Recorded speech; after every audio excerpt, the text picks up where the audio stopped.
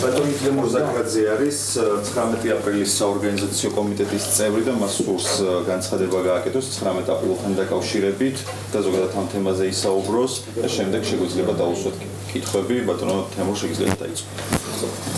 დიდი მადლობა ყურადღებისთვის რომ მოგძანდით. პირველ რიგში მინდა ავხსნა რატომ ვაპირებ 19 აპრილს სასვლას და რატომ საერთოდ მაქვს ესეთი პროტესტი. აა ჩემი აზრით ну, ვინაიდან მე გარდა იმისა, რომ უბრალოდ მოქალაქე ვარ, ვარ ანალიტიკოსი და პუბლიცისტი და ამ თემებზე 2000-ზე მეტი სტატია მაქვს უკვე გამოქვეყნებული. ჩემი აზრით დღეს საქართველოში მიმდინარეობს ასე ვთქვათ, მენტალური ანექსიის მცდელობა რუსეთის მხრიდან ახლა რო ავხსნა ეს ორი სიტყვით, მაშინ უნდა ცოტა გავშიფრო, რას ნიშნავს მენტალური ანექსია. მენტალობა არის ერთ-ერთი მთავარი ფაქტორი თანამედროვე გეოპოლიტიკაში, რომლის მეშვეობითაც ხდება გავლენების მოპოვება და განსაკუთრებით ამაში ძალიან ძალიან კარგად, ანუ გამოცდილი მეთოდებით სარგებლობს კრემლი და რუსეთი. თანამედროვე ცივილიზაციას გააჩნია მხოლოდ ორი ტიპის მართლობა, ეს არის ცივილიზებული და არაცივილიზებული და სწორედ არაცივილიზებული მართლობის, ასე ვთქვათ, აპოლოგეტი დღეს არის რუსეთი, რომელიც იცავს ყველა არაცივილიზებული ფორმებს, რაც კი არსებობს, თუმცა ასეთი ქვეყნები ძალიან ცოტა დარჩა.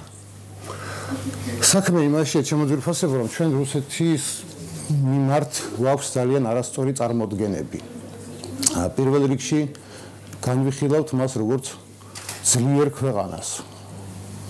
უკაცრავად ეს ქვეყანა ძლიერი დანარჩენ სოფლიოსთან მიმართებაში უკვე დიდი ხანი აღარ არის. იმნაიდან რუსეთი არის არაკონკურენტუნარიანი ქვეყანა პირველ რიგში ეკონომიკურად შესაბამისად პოლიტიკურადაც. და გუშინდელი განცხადებული პრემიერ-მინისტრისა განსაკუთრებით იყო აღმაშფოთებელი ვინაიდან აა თავად რუსეთის პირველმა პირებმა პირადად აღიარეს დიმიტრი მედვედევმა თქვა რომ ფომი რომ არ დაგვეწყო ჩვენ ნატოს მიიღებდით ჩვენ საზღვრებთანო და თავად პუტინმა აღიარა რომ 2006 წლიდან ქონდა გამზადებული გეგმა საქართველოს როგორ შეჭრილიყო. შესაბამისად, გამოძიების რამე საბაბს მე უბრალოდ ვერ ვხედავ ომთან დაკავშირებით. რუსეთს საქართველოსთან მიმართებაში აქვს კონკრეტული პრაგმატული ეკონომიკური ინტერესი, რის შედეგადაც ის ათასნაირი წყვილებით და იდეოლოგიური პროპაგანდისტული ხრიკებით ცდილობს გაამართლოს თავისი ასე ვთქვათ გეოპოლიტიკური გავლენის შენარჩუნების მცდელობები. რაში გამოიხატება რუსეთის გეოპოლიტიკური გავლენა და ის მისი სფერო რაში გამოიხატება? ეს არის ძალიან მარტივი და თქვენ წარმოიდგინეთ ძალიან ტრივიალური რამე. რუსეთის საქართველოს კონტროლის გარეშე უბრალოდ ვეღარ მიიღებს იმ ზემოგებას, რომელსაც დღეს ღებულობს ევროპასა და აზიას დაკავშირების შედეგად. მარტივად მოგახსენებთ. რუსეთი 100 დოლარად ყიდულობს გაზ თურქმენეთისგან, მიაქვს ძალიან შორი მანძილით თავის ტერიტორიაზე, შემდეგ იქიდან შეღავს ევროპაში და ყიდის იქ 500 ევროთ. პრაქტიკულად ღებულობს ზემოგებას, რომელიც მის მას უზრუნველყოფს, რომ შეინარჩუნოს აფხაზა ტერიტორიები, რაც გააჩნია.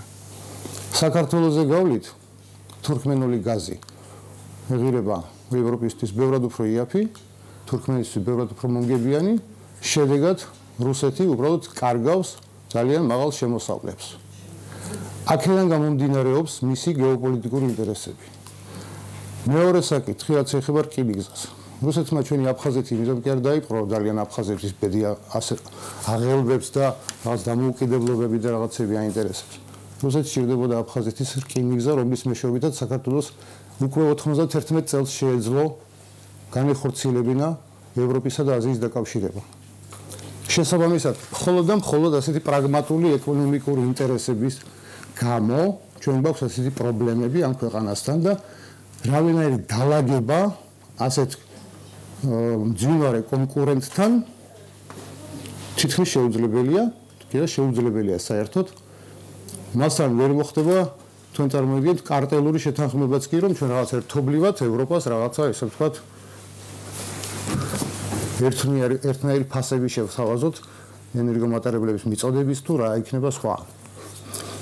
დღეს რუსეთს მიზანში აქვს ამოღებული უკვე ხარსი ახალქალაქის მონაკვეთის გახსნა და აქედან გამომდინარე მისი ინტერესებია რომ ეს გზა არ ამუშავდეს. და ჩვენ ეს უნდა გვესმოდეს ძალიან კარგად ვინაიდან საქართველოს მოქალაქეებს ძალიან ცუდად აქვს წარმოდგენილი რაოდენ დიდი მნიშვნელობის ქვეყანა ვარ ჩვენ სინამდვილეში. თურქეთმა რომელმაც 500 წლის წინ გადაგვიკეტა აბრეშუმის გზა სწორედ დღეს თურქეთი გვიხსნის ამ აბრეშუმის გზას. საქართველოს ძირითადი ეროვნული იდეა სწორედ აბრეშუმის გზის საყრდენი ქვეყანა რომ ვართ. ეს არის ჩვენი მთავარი ასე ვთქვათ აა ღირსებაც ჩვენი მთავარი ფუნქციაც და აქედან გამომდინარე საქართველოს უნდა იყოს ძალიან კეთილ კარგი კეთილდღეობის და ძალიან დიდარი ქვეყანა სინამდვილეში თვითონ აბრეშუმ ქუთაისის პარლამენტის შენობა სიმბოლურად განასახიერებს სწორედ აი ამ იდეას დედამიწის ნახევარ სფეროზე გადაფენილია თეთრი აბრეშუმის გზა. საქართველოს როგორც ქვეყანა ერთიანი და მთლიანი სჭირდება ცივილიზებულ სამყაროს იმისთვის რომ მან მოახდინოს რეალური ინტეგრაცია აღმოსავლეთსა და დასავლეთ შორის. სწორედ ასეთი ინტეგრაცია იქნება იმის გარანტია რომ კაცობრიობა განვითარდეს მშვიდობიანად, განვითარდეს ცივილიზებულად და დღეს თანამედროვე ეკონომიკა, რომელიც ყველა დემოკრატიულ სამყაროში არის დამყარებული ინტენსიურ პრინციპებზე, კოოპერაციების გარშე უბრალოდ ვერ ვითარდება და არც არის შეუძლებელი არ მათი განვითარება. შესაბამისად, ინტენსიური ეკონომიკა განაპირობებს ბაზრების დაპყრობას და არავითარ შემთხვევაში მიწების დაპყრობას. ის ვინც იპყრობს მიწებს და ცდილობს ამ მიწების დაპყრობით განძლიერდეს ეკონომიკურად ის არის უბრალოდ სუსტი ქვეყანა დღეს. აღარაფერს არ ვამბობ იმაზე რომ რუსეთის სამხედრო პოტენციალი ბევრად უფრო ნაკლებია, ну თუნდაც ამერიკის შეერთებულ შტატებთან შედარებით. რუსეთს ხარჯავს ამაში 40 მილიარდ დოლარს, ამერიკის შეერთებულ შტატებს აქვს 700 მილიარდიანი ბიუჯეტი. ამის შეფარდებაც კი აღარ შეიძლება. თქვენი მონამორჩილი ვიყავი რომ 2010 წელს ძინა ხელისუფლებისგან მოვითხოვდი პირდაპირ რომ საქართველოს არ დაებლოკა რუსეთში რუსეთის სავაჭრო ორგანიზაციაში გაწევრიანება და მადლობა ღმერთს ეს მოხდა კიდევაც თან მოხდა იმაზე უკეთესად ვიდრე მე მქონდა ეს წარმოდგენილი მინაიდან სწორედ რუსეთის სავაჭრო ორგანიზაციაში გაწევრიანება არის ერთადერთი მშვიდობიანი გზა რომ ეს ქვეყანა ჩაერთოს კონკურენტულ ბრძოლაში ეკონომიკურ კონკურენტულ ზონაში და ამის შედეგად ამ გამოაჩინოს თავისი თავი, რომ როგორც შეუძლია და კი ბატონო. არ არის პრობლემა, რომ ამ ქვეყანამ შეასრულოს ნაციონალური ის ფუნქცია, რაც აქვს თავის თავზე აღებული და ოღონდ კონკურენტების მოსპობაზე არ უნდა იყოს ორიენტირებული. კონკურენტების მოსპობა დღეს არის არანორმალური, არაცივილიზებული და შესაბამისად საქართველოს კარგად უნდა ესმოდეს რამდენად მნიშვნელოვანია რომ ჩვენ ჩვენი ფუნქციის შესრულება დავიწყოთ სწორედ იმით რომ აუცილებლად უნდა მივაქციოთ ყურადღება იმას რომ უნდა იყოს ყარსი ახალქალაქის გზა გახსნილი და ამუშავებული პირველ წელს დაგეგმილია ამ გზაზე 3 მილიონი თვირთი ტონას მოძრაობა მეორე წელს 16 მილიონი და ასე შემდეგ გეომეტრიული პროგრესიით შესაბამისად რუსეთისთვის არის ძალიან სერიოზული დარტყმა იმიტომ რომ ტრანსსიბირის მაგისტრალი ძალიან სერიოზულად დააკლდება მაგისტრალს დააკლდება თვირთების ბრუნვა. ამიტომ ყველა ეს განცხადება, რაც დღეს კეთდება დღევანდელი ხელისუფლების მხრიდან, ძალიან სახიფათოა ქვეყნისთვის. ძალიან მიუღებელია ვინაიდან ან ამ ხელისუფლებას არ ესმის სახელმწიფოს ინტერესები, არ იცის რაში გამოიხატება ეს ინტერესები, ან ამას საკრებით აკეთებს შეგუება. ამას უკვე მნიშვნელობა აღარ აქვს. რაში ჭირდება შეგნებულად თუ აკეთებენ? რაში ჭირდება თუ შეგნებულად აკეთებენ? კი ბატონო.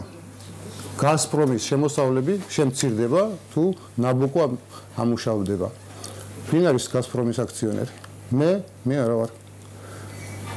მე ვამბობდი და ყოველთვის ვამბობ. ბიძინა ივანიშვილი გამოჩენისთანავე მესამე დღეს მივწერე მას ღია წერილი და მიწერია კიდევაც ბოლო სტატიაში რომ ბიძინა ივანიშვილი არის ეგრესული ძალა.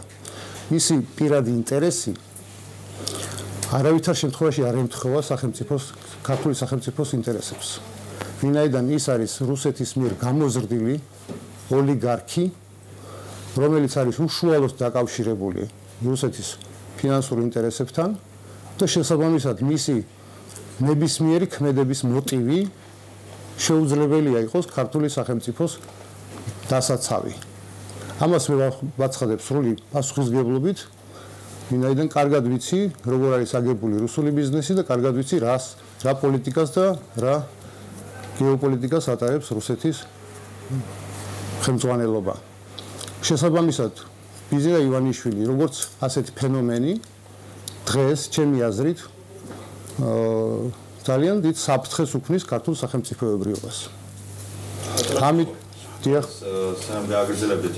ბიზნესა ივანიშვილმა გუშინ განაცხადა, რომ მას წარმოქმნა არ აქვს თუ რას აპირებს ხალხი, ის ხალხი, რომელიც აპირებს 19 აპრილის აქციაზე მივიდეს, რას აპროტესტებენ ეს ერთი. და მეორე გუშინ რუსული მედია სააგენტოების სხვადასხვა საიტები იყო აჭრელებული ამ სიტყვის პირდაპირ მნიშვნელობით იმ განცხადი იმ ახალი ასე ვთქვათ ინფორმაციით რომ საქართველოს როგორც იქნა აღიარა რომ თვითონაა დამნაშავე აგვისტოს ომში.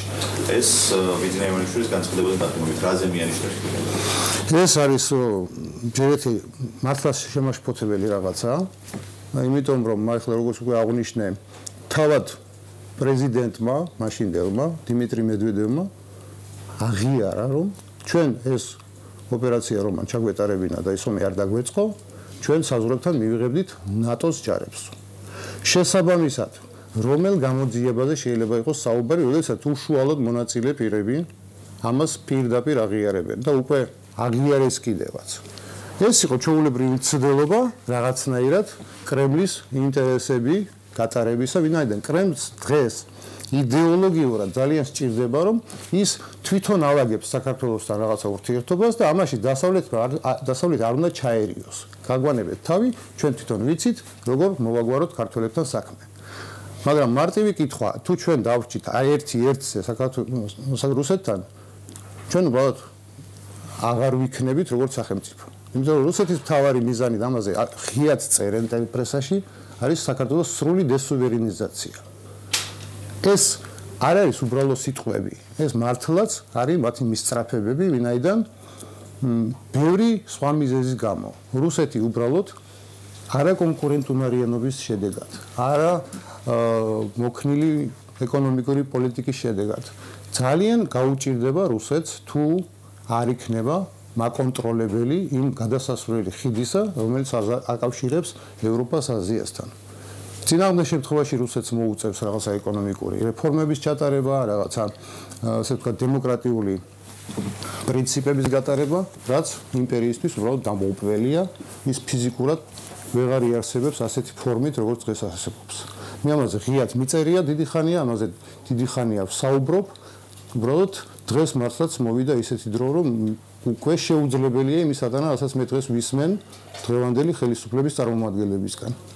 ეს არის სრული უცოდინარობა იმისა, რაც ხდება თანამედროვე გეოპოლიტიკაში. და საერთოდ მინდა შეგახსენოთ, რომ არც ერთი სახელმწიფო, ერთ ერთი სახელმწიფო ვერ შედგება, თუ ის არ არასრულებს სხვა ქვეყნებისთვის რაღაც ფუნქციას და მისიას. სწორედ აი ამ ფუნქციის და მისიის შესრულებაში გვიშლის ჩვენ ხელი ხელს რუსეთი მთელი ამ წლების მანძილზე, რაც კი დაიშალა საბჭოთა კავშირი. შეიძლება პირველ შეკითხვას ბიზნესის კომენტარიც 19 აპრილზე რომ მან არის ის რას აპროტესტებს, რას აპროტესტებს. რას ვაპროტესტებთ და ვაპროტესტებ პირადად მე ვაპროტესტებ იმას რომ მიმდინარეობს ასე ვთქვათ გადადინება ასე ცოცავად გადადინება დასავლეთის მიმართულების მაგერად ჩრდილოეთისკენ ხდებ იქნება ესეთი პირობები რომ ჩვენ უბრალოდ სხვა გამოსავალი აღარ დაგვრჩება რომ აღმოჩნდებით ფაქტის წინაშე რომ ჩვენ გარდა რუსეთისა მეტი პარტნიორი აღარავინ არ გვეყოლება როდესაც დღევანდელი ხელისუფლება ეკიშება ევროპას აცხადებს მათ როგორც არაადეკვატურ ადამიანებს და ასე შემდეგ და უამრავი ამის მაგალითი თქვენ ჩემზე კარგად იცით ეს მიანიშნებს იმას. საკმარისია ხოლმე ინვესტორისთვის საკმარისია მარტო ერთი განცხადებაც კი რომ არა შენდება რაღაცა, ხო? ესეც უკვე საკმარისი ინვესტორისთვის ის სიგნალია, რომ საქართველოსი ჯობია თავი შეიკავოს, რომ ინვესტიცია რამე ჩადოს. სამაგიეროდ ბატონი ბიძინა ივანიშვილი გვთავაზობს, რომ აი ჩუბაის მოიწევს ინვესტიციებს ჩასადებად საქართველოსში. ხო, ჩუბაისი მე ვიცი რომ მართლა ჭკვიანი მენეჯერია, მაგრამ ეს არის იმპერიალისტი მენეჯერი, მან მას ჰქონდა ასეთი იდეოლოგია, რომ რუსეთი უნდა იყოს ესეთი დემოკრატიის იმპერია, რაც არის აბსურდი, ან დემოკრატია უნდა იყოს, ან იმპერია. ორი ეს შეუთავსებელი ცნებებია. ну ამ ადამიანს აქვს ახლა თავისი ხედვები, მას აქვს თავისი ქვეყნის ინტერესების დამცველია და არის კიდევაც ერთ-ერთი ტოპ მენეჯერი ამ ქვეყნისა. და როდესაც ბიძინა ივანიშვილი მიგვანიშნებს იმაზე, რომ აი ჩუბაისი ჩამოვა და ის კარგად, კარგ ფულს ჩადებს და ასე შემდეგ. ამით საქართველოს უბრალოდ დასვავენ ეკონომიკურ თუ ენერგეტიკულ ასე ვთქვათ ნემსზე, რომ ჩვენ სხვა გამოსავალი და სხვა ინვესტორი უბრალოდ არ გვეყოლება რუსების გარდა. როდესაც რუსეთი რუსეთი ფლობს რაღაცა საკუთრებას დაუშვათ როგორც კომპანიები და მონაწილეობენ, იგივე ბილაინი იქნება თუ თელასია თუ ვიღაცა, ხო? ისინი მოქმედებენ საქართველოში სოფლიო სავაჭრო ორგანიზაციის წესების თანახმად. რომელსაც ეს წესები ყველანაირად უკრძალავს რამენაირად პოლიტიკაში მონაწილეობას. აა სავაჭრო ორგანიზაციის წესები იმით არის კარგი, რომ ყველა ქვეყანაში უბრალოდ საუბრობენ ერთ ეკონომიკურ ენაზე და ეს არის მხოლოდ ეკონომიკური ინტერესები და არავითარ შემთხვევაში ეს არ შეიძლება იყოს გამოყენებული რამე პოლიტიკური მიზნების მიზნებისთვის. აა მაგრამ დღევანდელ სიტუაციაში რუსეთის ასე ვთქვათ აქტიური ჩართვა განსაკუთრებით რუსი ოლიგარქების და ასე შემდეგ მეანიშნებს მხოლოდ ერთ რამეს რომ დღევანდელი ხელისუფლება ცდილობს ინვესტორი თავარი ინვესტორებად გაგვიხადოს რუსი ოლიგარქების ასე ვთქვათ ინტერესები შესაბამისად საქართველოს გადაიყვანოს ასე ვთქვათ ჩრდილოეთ ნაკადზე ფინანსურ ჩრდილოეთ ნაკადზე. რაც ყოვლად და ყოვლად დაუშვებელი იქნება ჩვენი ქვეყნისთვის ვინაიდან ჩვენ ამის შედეგად უბრალოდ კარგავთ ჩვენს დამოუკიდებლობას. ასევე კარგავთ ჩვენ დამოუკიდებლობას იმ შემთხვევაში თუ შევინარჩუნებთ არაცივილიზებულ მენტალიტეტს. არაცივილიზებული მენტალობა იმას ნიშნავს რომ ჩვენ ასევე გავხდებით ძალიან ახლო ქვეყანა რუსეთისთვის და ესეც გეოპოლიტიკური გავლენის ერთ-ერთი მთავარი ფაქტორი იქნება, რის შედეგად საქართველოს უბრალოდ ასევე დაკარგავს თავის დამოუკიდებლობას ყველანაირად. კითხები თუ გაქვთ, სიამოვნებით გიპასუხებთ. კი ბატონო. ინტერესებს რამე რადიკალურ 19-ის შემდეგ ელოდებით თქვენ? არა, არა, ვითარა. როცა საუბარია იმაზე, რომ ხალხი მოვა 19-ში, მხარს დაუჭერს იმას, რომ არ გადავიდეთ თქვათ ეგრეთ ჭრდილოეთ რელსებზე, რამდენად გონიათ, რომ ეს რაღაცა შედეგს გამოიწვევს? იმიტომ რომ შეიძლება მოხვიდე დააფიქსირო, მაგრამ არაფერი არ გაკეთეს. რას რას მოხდეს ეს ჩვენ? სიამოვნებით გაგცემთ მაგაზე პასუხს.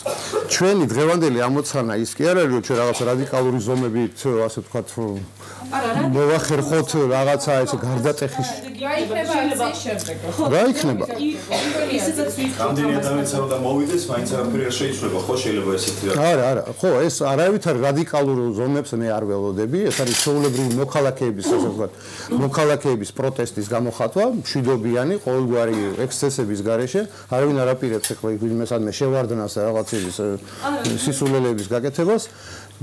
ჩვენი მთავარი ამოცანა დღეს არის იყოს დემოკრატია. დემოკრატია არის რუსეთისთვის მიუღებელი მენტალიტეტი, სხვათა შორის, და ეს არის ერთ-ერთი ფორმა, რომ ჩვენ ამ აქედან დავახციოთ თავი, მაგრამ დემოკრატია უნდა იყოს ნამდვილი, დემოკრატია უნდა იყოს ისეთი, რომელიც იცავს სხვის თავისუფლებას პირველ რიგში. წინააღმდეგ შემთხვევაში ესეთი დემოკრატია უბრალოდ არ არსებობს. დემოკრატია არის ის მასში, როდესაც ის იცავს უდანაშაულობის პრეზუმპციას პირველ რიგში და მოქალაქეების თავისუფლებას. შესაბამისად, ჩვენ როგორც მოქალაქეები მოვალთ ამ აქციაზე, რომელსაც როგორც ვატყობ მართლ პარტიას ძალიან ეშინია, რაღაც ძალიან გაღიზიანებულები არიან ამის თემაზე. ну, შეუძლიათ იუმორით უყურონ, როგორც ეს მათინება, არ არის პრობლემა. ჩვენ როგორც მოქალაქეები გამოვალთ ამ აქციაზე, დავაფიქსირებთ ჩვენს პოზიციას, იმიტომ რომ სხვადასხვა მიზეზი ჩამოყალიბდა, გარდა იმისა, რომ ჩვენ გვიდა ევროპა და ევრაზიული და ნატო და ასე შემდეგ, პირადად მე უკვე მოგახსენეთ, რატო ვაპირებ ამის გაკეთებას, მე არ მომწონს ის მენტალობა, რომელსაც ცდილობს დაამკვიდროს დღევანდელი ხელისუფლება და მთელი მისი უმრავლესობის წარმომადგენლები, რომლებიც ასე აშკარად და ღიად ილანძღებიან ყოველგვარი დასაბუთების და არგუმენტის გარეშე. მარტო მაგალითს მოგახსენებთ. შევარდნადის დროს საქართველოში თითოსულ მოსახლეზე იყო 700 დოლარი შემოსავალი და ეს არის ანომალია, ვინაიდან ასეთ საზოგადოება უბრალოდ ნორმალური ვერ იქნება. ეკონომიკების დათვლი, ეკონომისტების დათვლით სტატისტიკურად ცნობილია, რომ თითოსულ მოსახლეზე უნდა იყოს 12000 დოლარი შემოსავალი, რომ იყოს ნორმალური საზოგადოება. დღეს ჩვენ გვაქვს თითქმის 6000 დოლარი.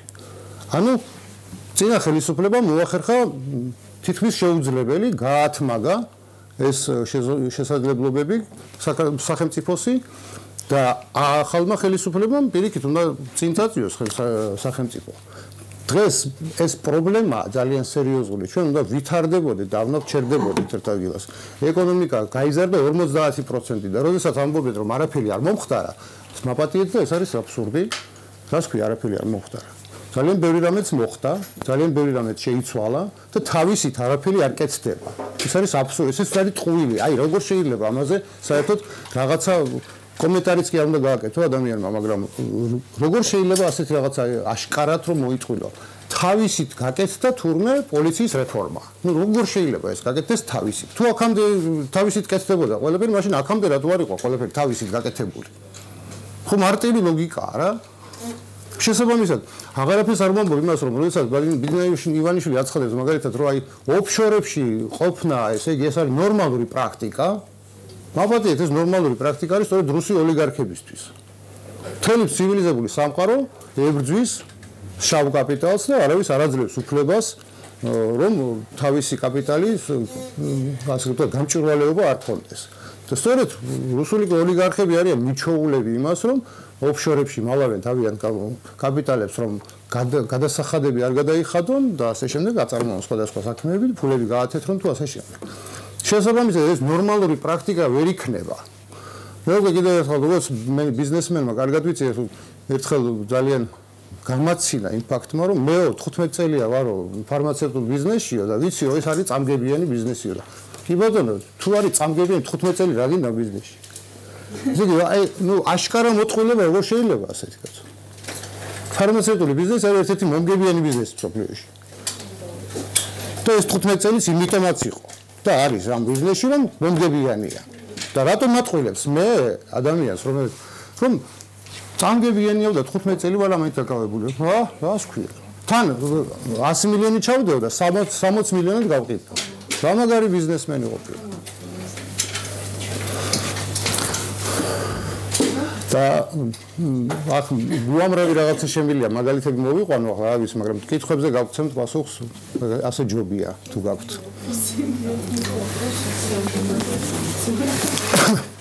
უგნებავთ რამე დაამატოთ პატრონატემო თქვენი შეხედულებისა ну ჩემი შეხედულების მისამებრ მინდა რა აი რა თქვა და ქართველობას რა მინდა უთხრა. ახლა მე ვახსა თანამედროვე დემოკრატიის პრინციპები რომელიც არის ჩამოყალიბებული სოფლიოში არ არის უცხო. პირიქით. სწორედ ინტენსიური ეკონომიკა და ტოლერანტობა არის დაბადებული საქართველოში. ტოლერანტობის აგერო მონუმენტი მეიდანი გვიდგას 1000 წლის. მე ისიც ხმა მინდა. ჩვენთვის უცხო დემოკრატია სულაც არ არის პირიქით. ჩვენ ვართ პირველი ქვეყანა. დავით აღმაშენებელმა საერთოდ პირველმა პალმა პირველ პირველობის პალმა მას ეკუთვნის პირველმა შექმნა თავისუფალი საზოგადოება. მას ხალხა თავისუფალი გლეხობა, თავისუფალი ვაჭრობა და სწორედ ამ თავისუფალ ადამიანებმა შექმნეს ის დოვლათი და გააძლიერეს ქვეყანა. და ქართული სახელმწიფოს ფუნქცია სწორედ დავით აღმაშენებელმა სრულად წარმოაჩინა იმ პერიოდში. ანუ დასავლეთ და აღმოსავლეთ შორის დამაკავშირებელი როლი სწორედ საქართველოს მაშინ სრულად გამოაყენა. ასე ვთქვათ, წარმოაჩინა და ამ ამის შედეგად საქართველოს ძალიან გაძლიერდა. იმის შემდეგ საქართველოს ყველა ჩვენს მეზობელს არ ჭირდებოდა რომ საქართველოს ყოფილიყო ერთიანი სახელმწიფო. იმიტომ რომ გაძლიერებული სახელმწიფო ასუსტებდა მათ. მათ არ ქონდათ ინტენსიური ეკონომიკა. ყველა ფეოდალური წყობილება მოწყობილია ექსტენსიურ ეკონომიკაზე, რომელიც აი მიწების დაპყრობაზე ორიენტირებული. რაც შეიძლება მეტი მიწა უნდა ქონდეს ამ ეკონომიკის შედეგად, რომ მეტი მოსავალი ქონდეს, ესე ვთქვათ. ეს მარტივად ვთქვათ. შესაბამისად, დღეს როდესაც კაცობრიობა კარდინალურად შეიცვალა და სწორედ ყველა წარმატებული ქვეყანა, ყველა წარმატებული ბიზნესი სხვათა შორის ცხოვრობენ სწორედ შოთა რუსთაველის პრინციპებით. შოთა რუსთაველისა ზოგ სახელისა მოხვეჭა, ყოვლისა მოსახვეჭელსაო. ეს არის თავარი პრინციპი დღევანდელი ყველა წარმატებული კომპანიის. იმიჯი არის ყველაფერი. იმიჯის შესანარჩუნებლად ყველა კომპანია უზარმაზარ ზარალზე წავა, ოღონდ სახელი არ გაიფუჭოს. ხომ ასეა? ესე იგი, მიეც გახახთა საჭურჭლე თავისუფლება მონები, ესე ჩათაროსთაველის პრობლემის არის პრინციპია, რომლის შედეგად ადამიანს ცოდნა უნდა მისცე, რომ ის იყოს თავისუფალი და იყოს პროფესიონალი თავის საქმეში და შესაბამისად თავისი შესაძლებლობებით იცხოვროს. ამ ეს სჭირდება დემოკრატიას. არა დემოკრატიას კი სჭირდება, რომ თქვენ იცხოვროთ ვიღაცაზე დამოკიდებულად. თუნდაც ამ მილიარდერზე, თუნდაც ვიღაცა მაგარ ნათესავზე თუ ასე შემდეგ და ვიღაცა ქვეყანაზე დამოკიდებულად. და ჩვენთვის ქართველებისთვის საერთოდ წარმოუდგენელია რომ ჩვენ არ ვიყოთ თავისუფლები. ეს არის წარმოუდგენელი რაღაცა. ჩვენ თავისუფლების ქვეყანა ვართ. დაბადებიდანვე. ჩვენ ასეთი ერი ვართ. მადლობა ღმერთს ჩვენ ასეთი ფანტასტიკური თვისებები დაგვიტოვეს ჩვენმა წინაპრებმა და ის გენეტიკური მეხსიერება რომელსაც ყველანი ჩვენ ვატარებთ არის ძალიან დიდარი. ჩვენ მხოლოდ თავისუფლება გვაკლია, რომ ვიყოთ ძალიან მართლაც სერიოზულად წარმატებული ერი და წარმატებული ქვეყანა. მაგრამ ეს უნდა იყოს აუცილებლად თავისუფლების პირობებში. მე თუ არ მე მხოლოდ მაშინ მექნება ჩემი თავისუფლება, თუ მე ვიცავ სხვის თავისუფლებას და ვიცავ ჩემი ქვეყნის თავისუფლებას. და გლობალიზაციას რაც შეეხება, რომელსაც წინააღმდეგები არიან ბევრი ქართველები, მაპატიეთ და პრეტენზიები წაუყენენ ვაჟაბ შარალას, იმიტომ რომ ვაჟაბ შარალა არის გლობალიზაციის იდეოლოგიური მამა. ასე რომ რა გამოვიდა? საქართველოს აქვს ძალიან დიდი მნიშვნელობა თანამედროვე ცივილიზაციაში, სწორედ იმაში, რომ ჰარმონიულად მოახდინოს აღმოსავლეთის და დასავლეთის გლობალიზაცია. აი, ასეთი გარანტი ქვეყანა ვართ ჩვენ. და იმას, რასაც რუსეთი აკეთებს ევროპასა და აზიაში შორის არის ძალიან ასე ვთქვათ, სათავისოთ ბოროტად გამოყენებული, უბრალოდ ფულს აკეთებს ევროპანაზე. ევროპას, ევროპის ასე ვთქვათ, იძულებით რუსეთი უბრალოდ სასწაულ ფულს აკეთებს ძალიან დიდ ფულს აკეთებს და აი ამის შეწყვეტა არ უნდა იმიტომ რომ აგერ გამოჩნდა ქვეყანა რომელსაც შეუძლია ეს იყოს ნორმალური ცივილიზებული ურთიერთობებით დამყარებული კონტაქტები და ეს არის საქართველო. სწორედ ჩვენ შეგვიძლია ასეთი ურთიერთობები დავამყაროთ სოფლიოში. და აქედან გამომდინარეობს ყველა ის მიზეზი და ყველა პრობლემა, რის შედეგადაც ჩვენ რუსეთი გვეომება. ეს უნდა კარგად გავიაზრო და სიგანეში ჩვენ რუსიერის მტერი არა ვართ. რუსეთი რუსიელის უნდა გათავისუფლდეს თავის იმპერიულობისგან. ჯობია რომ თავის თავს მიხედოს. თუ თვითონაც თავის შესაძლებლობებით იცხოვროს და არა სხვის ხარჯზე.